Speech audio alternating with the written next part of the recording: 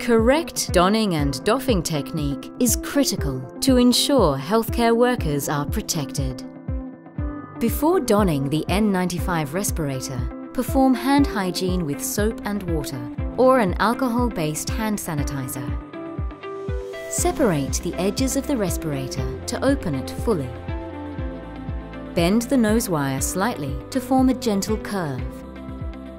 Hold the respirator upside down to expose the two head straps. Using your two index fingers and thumbs, separate the two straps. While holding the two straps, cup the respirator under your chin. Pull the head straps over your head. Release the lower head strap so it sits at the base of your neck. And release the second strap so it sits on the crown of your head.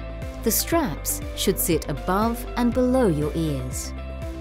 To secure the respirator and achieve a good seal, firmly secure the nose wire by smoothing the mask against your face starting at the bridge of your nose and extending across your cheekbones with both hands.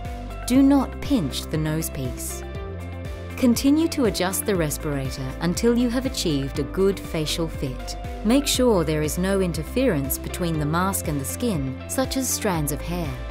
The top and bottom of the mask should sit flush against the skin, without bunching. It's important to always perform a thorough fit check to ensure you have a good seal. Inhale and exhale sharply. The respirator should collapse slightly upon inhaling and expand upon exhaling. You shouldn't be able to feel any air leaking at the top or bottom of the mask.